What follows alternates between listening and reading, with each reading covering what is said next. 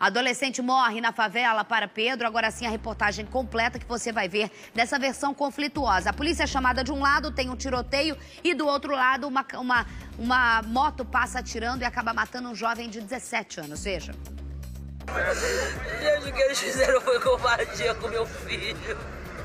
O meu filho tinha acabado de me ligar dizendo que ia cortar o cabelo em casa almoçar. A mãe de Kelvin Gomes, de 17 anos, afirmou que o filho é inocente. Gente, meu filho não merecia. Meu filho trabalha desde 11 anos de idade no Ceasa. Meu filho é trabalhador. O rapaz estava nesta barbearia aguardando a vez dele para ser atendido quando começou o tiroteio.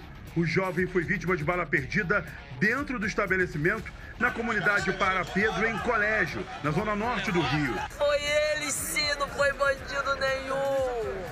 Não foi bandido, foram eles. Além dele, outras quatro pessoas foram baleadas. Entre elas, um outro rapaz de 19 anos. O jovem foi identificado como Lucas Amaral. Ele também aguardava para cortar o cabelo na barbearia. Ele foi socorrido e levado para o Hospital Municipal Getúlio Vargas, na Penha.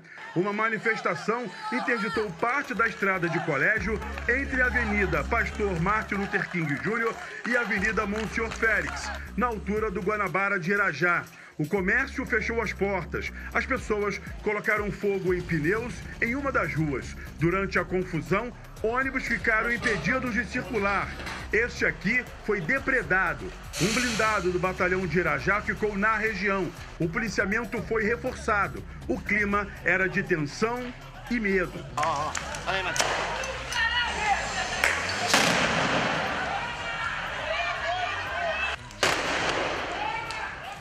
corpo do Kelvin passou por todos os exames necessários aqui no Instituto Médico Legal na Leopoldina. O pai dele chegou aqui bastante emocionado e afirmou que o filho completaria 18 anos agora, no dia 26 de outubro. O pai relatou ainda que o filho teria sido morto com cerca de seis tiros. Segundo o relato, é que entrou um cara, dois caras numa moto e atirou no meu filho. Eu não tenho como é, afirmar se foi isso se foi os policiais que mataram meu filho. Eu não posso condenar, ou seja, julgar a polícia e também não posso descartar a possibilidade, tá entendendo? Meu filho não era bandido, meu filho era trabalhador e ele era um filho muito querido, entendeu? Todo mundo da, da comunidade gostava do meu filho.